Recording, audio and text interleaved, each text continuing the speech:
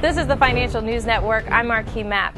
OCZ Technology Group is off 9 cents today, easing about 2% from a nine month high set on Friday, triggered by the computer component manufacturer announcing a deal with a Tier 1 OEM to sell its Deneva series storage devices. Shipments are slated to begin during fiscal fourth quarter ending in February 2011, with between 5,000 to 15,000 units heading out the door each quarter and generating as much as $7.5 million in sales.